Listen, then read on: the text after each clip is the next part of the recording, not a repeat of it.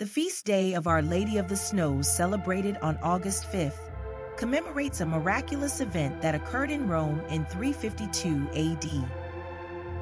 On the night of August 5th, snow fell on Esquiline Hill in Rome, a rare and improbable event for the summer month. This miraculous snowfall was a divine sign from the Virgin Mary, the Mother of God. Please like and subscribe to our channel. Thank you, and God bless you. In Rome, a nobleman named John and his wife, who were childless, chose the Mother of God as the heir to their fortune. They prayed for guidance on how to honor her with their wealth. The Virgin Mary appeared to them and Pope Liberius, instructing them to build a church on the Esquiline Hill, which would be covered in snow as a sign. That night, snow fell, outlining the future church's site, known as Our Lady of the Snows.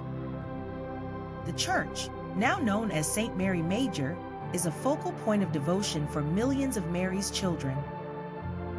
This basilica, also called the Basilica of Liberius and St. Mary of the Crib due to the relics of Christ's crib it enshrines, has been a place of countless blessings. It is one of the four major basilicas in Rome where pilgrims pray to gain the indulgences of the Holy Year. Just as each snowflake is unique and beautiful, the graces obtained through Mary's intercession are numerous and varied, transforming and enriching the lives of believers. The grace of God, obtained through prayer to Mary, preserves the warmth of God's love in our hearts, protects the soul from sin, and nourishes it with new life. Mary's role as Theotokos, the Mother of God, was affirmed by the Council of Ephesus, highlighting her significant place in the Christian faith. Seeking her intercession brings transformative grace into our lives. As it is written in Luke 1:38, and Mary said, Behold, the handmaid of the Lord, be it unto me according to thy word. And in John 2:5, his mother said to the servants, do whatever he tells you.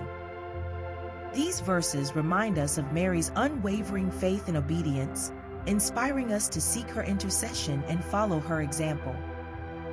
Let us always say the Rosary and pray that through the intercession of Our Lady of the Snows, the blessings of God may shower down upon us all, convert hardened sinners, and bring all souls back to God in Jesus Christ's name. Amen. Please like and subscribe to our channel. Thank you, and God bless you.